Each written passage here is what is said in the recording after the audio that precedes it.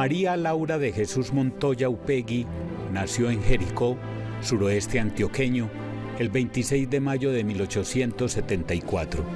Su padre, un médico y comerciante, fue asesinado cuando ella apenas tenía dos años, una víctima de la guerra civil, un conflicto que enfrentó al gobierno del presidente conservador Mariano Ospina Rodríguez con el Partido Liberal.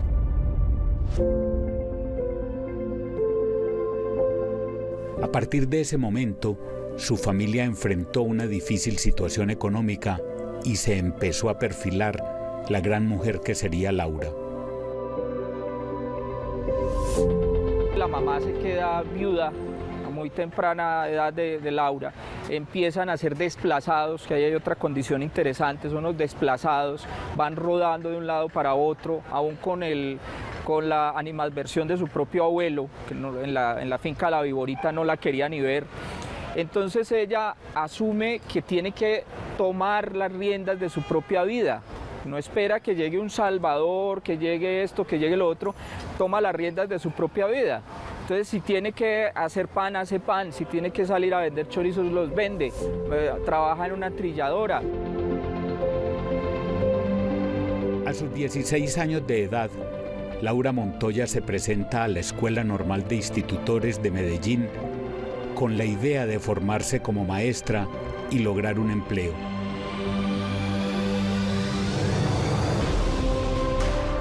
Su tía, María de Jesús Upegui, le ofrece alojamiento a cambio de trabajar con ella en el manicomio del barrio Aranjuez. Ahí comienza su formación de educadora y el fortalecimiento de su espiritualidad.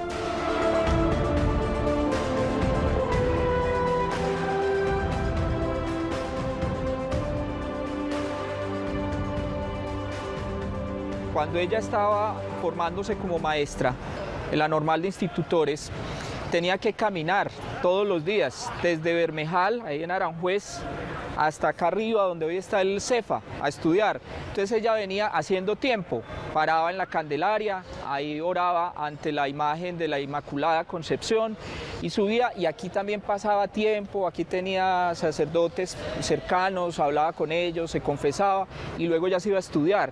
Entonces creo que, es ese ejemplo de superación también. No tenía esos recursos para pagar un transporte como hoy y venirse caminando, pensemos hoy la distancia desde Aranjuez hasta acá arriba, un trayecto tremendo y es tal vez esa también esa capacidad, ese tesón de, esta mujer. Yo creo que esto representa eso, el tesón, la decisión de, formarse. Ella sabía que formándose no era que se iba a formar para enriquecerse, se iba a formar para trabajar con la gente. Laura se gradúa en 1893 como maestra de educación primaria y se dedica a formar jóvenes en diferentes escuelas públicas del departamento. Primero estuvo en Amalfi como directora de la sección superior de la Escuela Municipal, luego en la Escuela Superior Femenina de Fredonia. Fue vicedirectora de disciplina del Colegio de la Inmaculada en Medellín y maestra de la Escuela de la Ceja.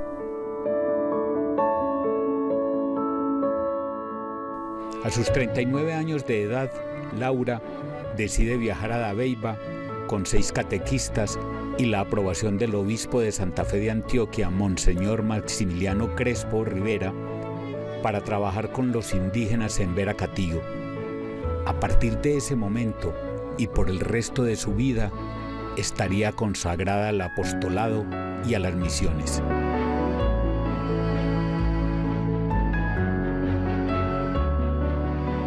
Yo resumiría la grandeza de la Madre Laura eh, con tres palabras. Espíritu de servicio, mística y visionaria. Porque en un momento en el que las mujeres estaban circunscritas a, unos estilos de vida muy limitados, esta mujer en la Medellín eh, provinciana, pueblerina de ese momento, fue capaz de convocar a un grupo de, señoritas, unas con formación académica y otras sin ellas, capaz de, convocarlas a, a eso que el Papa Francisco ha llamado iglesia en salida, a irse a la selva, eh, sin seguridades, a correr unos riesgos enormes. Eso sí que es feminismo, ir a buscar a los más necesitados allí donde estaban. Un año después de su llegada a Dabeiba, es decir, el 14 de mayo de 1914, fundó la Congregación de Misioneras de María Inmaculada y Santa Catalina de Siena, una decisión que tuvo una fuerte oposición de algunos jerarcas de la Iglesia Católica, quienes condenaban las ideas liberales de la religiosa e intentaban impedir el avance de las misiones en las comunidades indígenas de Antioquia. Vence los prejuicios de la época. ¿Quién dice que una señorita decente no se puede ir a la selva? Sí, me voy a la selva porque tengo un oficio que desempeñar en la selva y con los indígenas. Laura Montoya vence los esquemas de evangelización de la época, porque hay que hacer eh, vestir a los indígenas como se visten los occidentales. Vence también los esquemas porque dice y porque hay que llegar de una vez a adoctrinarlos y a bautizarlos. Compartamos con ellos y eh, hagámosles ver un, un estilo de vida vence los esquemas porque no se deja asustar por la autoridad del obispo. Sí, el obispo es la autoridad máxima de la diócesis, pero ella está en lo cierto, ya tiene el Espíritu Santo, ya tiene un mensaje importante que entregar, entonces no es una, no es una mujer que se deja amilanar por los poderosos, es decir, ella tiene la fuerza de la convicción. Laura Montoya no se quedó en la contemplación. Fue una mujer de acción que siempre se mostró inconforme con las injusticias de la iglesia y de la sociedad con los indígenas, hasta llegar a infravalorarlos como seres humanos. Por eso desarrolló una labor de evangelización meramente humanista.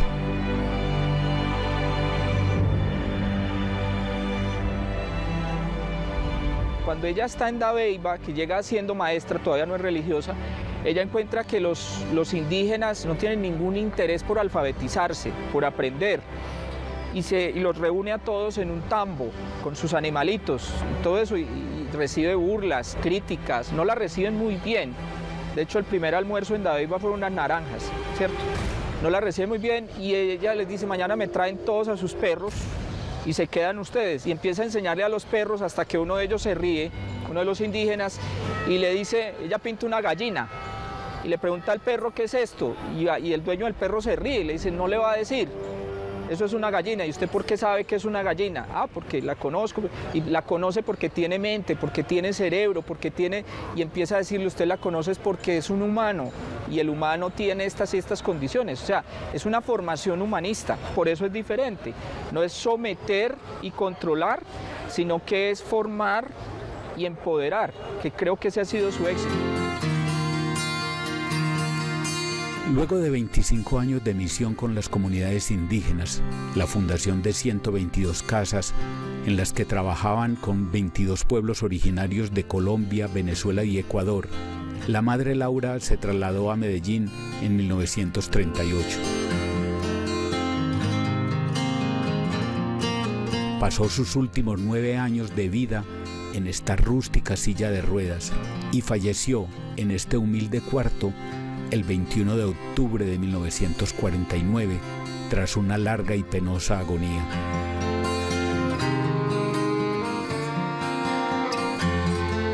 Al morir, la congregación de misioneras contaba con 467 religiosas y 93 novicias.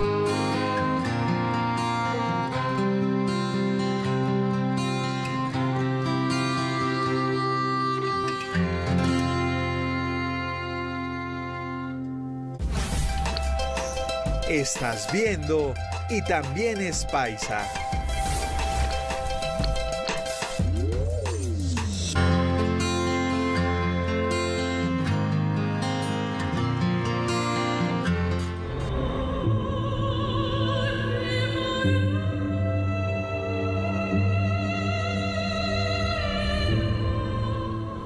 En el santuario de la Madre Laura, ubicado en la Comuna 13, en los límites de los barrios Santa Mónica y Belencito, reposan los restos de la primera y única santa colombiana.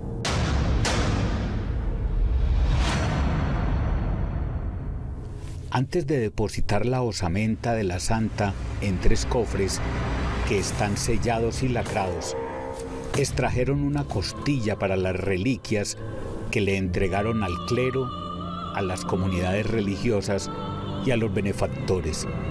También sacaron dos falanges del pie. Una está en su tierra natal Jericó y la otra en el Vaticano.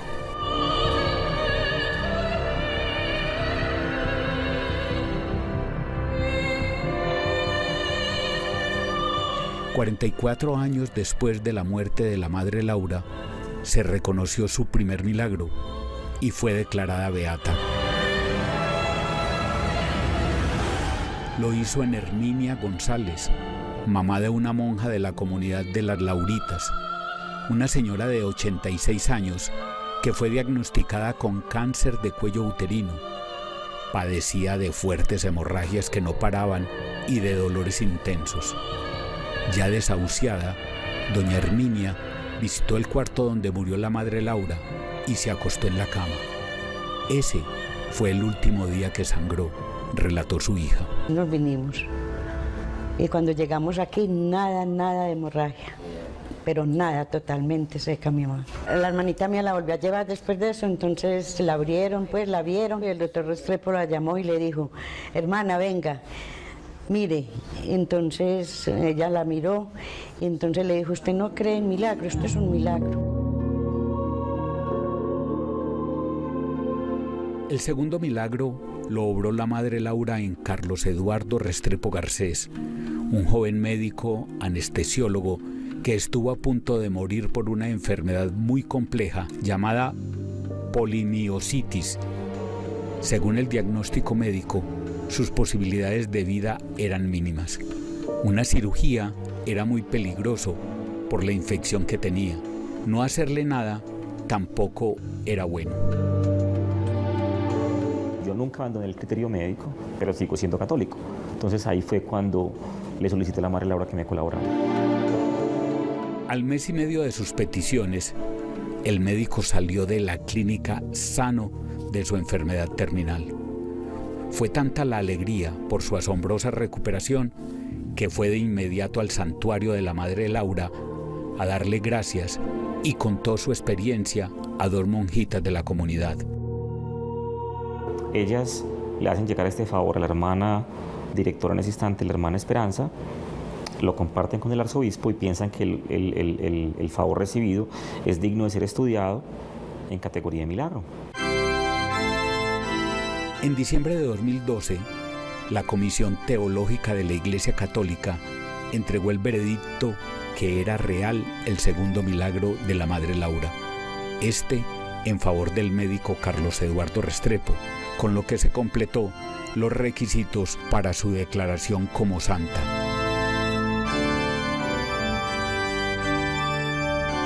El Papa Francisco registró el 12 de mayo de 2013 el nombre de Laura Montoya Upegui en el Santoral Católico en una solemne celebración eucarística en la Plaza de San Pedro en Roma. A la ceremonia asistieron unas 80.000 personas.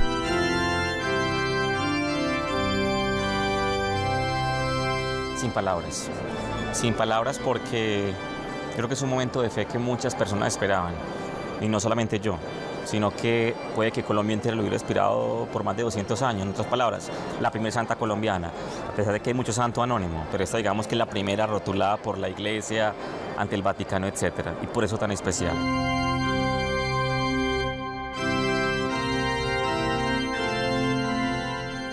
No solo han sido estos dos milagros, hay miles de personas que aseguran haber recibido favores de la santa. Algunas de ellas lo testifican a través de placas o devolviendo los aparatos que usaron durante la enfermedad.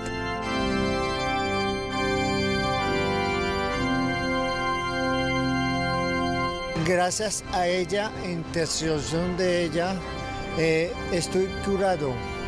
Eh, es un milagro, dicen los neocirujanos, un milagro de la Madre Laura. Y la tengo presente aquí.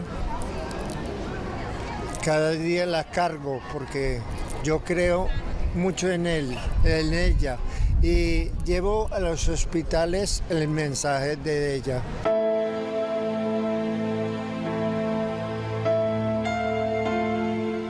Pocos santos en el mundo se conservan tantos objetos como los que hay en el santuario de la Madre Laura. Están los cabellos que le cortaron al momento de su muerte, los algodones que limpiaron su sangre, las vendas, los últimos trajes que usó, los zapatos, una imagen del divino niño, el rosario de su devoción y hasta los elementos con los cuales se flagelaba.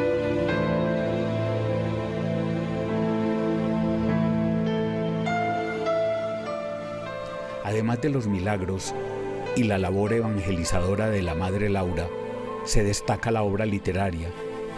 Ella escribió más de 30 libros en los cuales narró sus experiencias místicas con un estilo claro y llamativo. Los textos son utilizados hoy como guía por las hermanas lauritas en sus jornadas de evangelización en los 21 países en los que la orden hace presencia, 17 de ellos en América, 2 en África y 2 en Europa.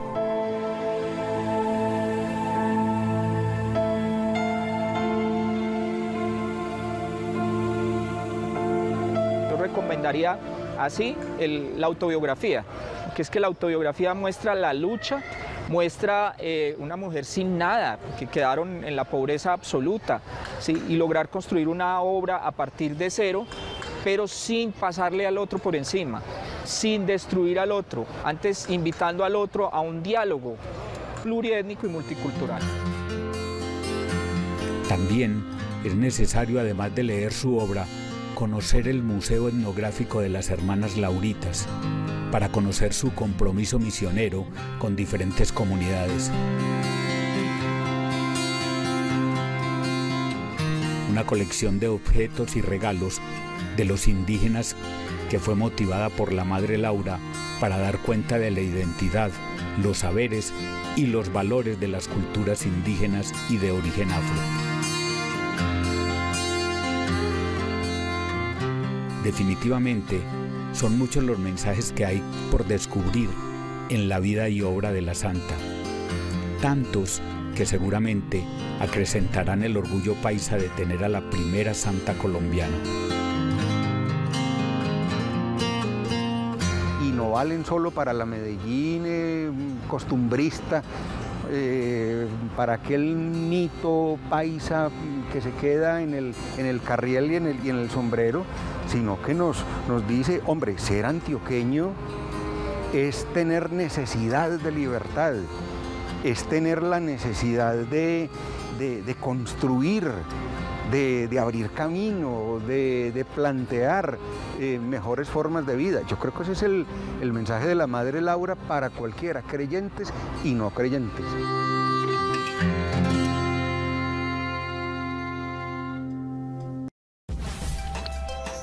Estás viendo y también es paisa.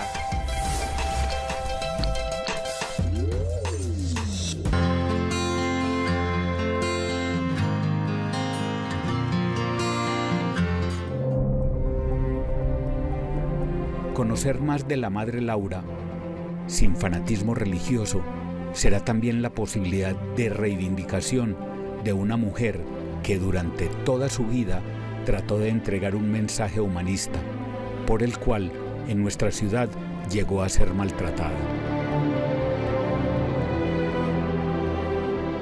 La sociedad de Medellín de ese entonces la persiguió, ¿sí? la trató muy mal, sufrió mucho en esta, en esta sociedad, a tal punto que eh, ahí en la calle del Codo, abajo, de este punto donde nos encontramos, eh, necesitó una escolta.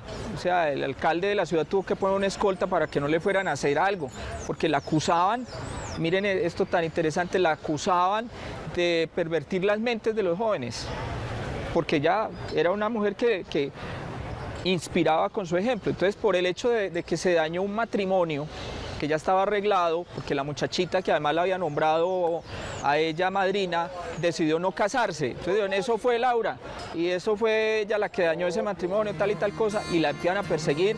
Hay hasta un libro de un autor de cuyo nombre no quiero acordarme, que se llama eh, Hija Espiritual. Se puede concluir varias cosas del pensamiento y la obra de la Madre Laura. Que su visión sobre la educación sobrepasó las ideologías y las formas tradicionales de enseñanza, que sus ideas de hacer apostolado fueron renovadoras en una iglesia extremadamente conservadora, que fue revolucionaria al mostrar el papel de la mujer en la sociedad y en la iglesia, lo cual implica hasta el acceso al poder. No requiere del permiso o de la legitimación de las autoridades masculinas y también es paisa la madre Laura, gracias a Dios.